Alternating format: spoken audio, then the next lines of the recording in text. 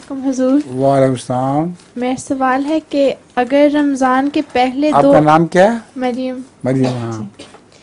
अगर रमज़ान के पहले दो अशरों में किसी के कुछ रोज़े रह जाएँ तो क्या वो फिर भी इतकाफ़ में बैठ सकता है? अगर पहले रोज़े रह जाएँ किसी वजह से जी। इतकाफ़ बैठ सकता है। कोई मना नहीं। जजाकल्लाह हम्म।